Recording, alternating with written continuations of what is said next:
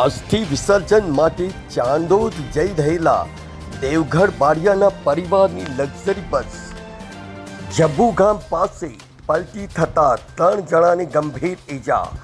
બોડેલીના જબુગામ પાસે luxury bus પલટી ખાતા આઠ વ્યક્તિઓને ઈજા થઈ હતી. ત્રણને ગંભીર ઈજા પહોંચી હતી.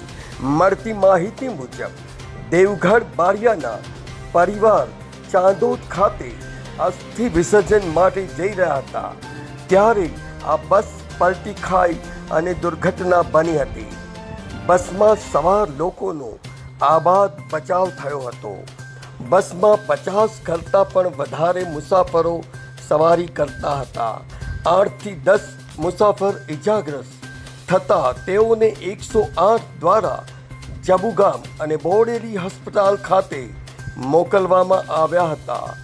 ઘટના સ્થળે લોકોના ટોળે ટોળા ઉમટી ગયા હતા. છોટા ઉદેપુર નેશનલ પરનો રોડ જર્જરિત હોવાથી વારંવાર અકસ્માતની ઘટના બને છે એવું લોકોનું કહેવું છે.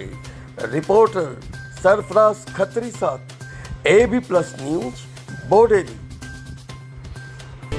આપ જોઈ રહ્યા છો સત્ય ગુજરાતનું.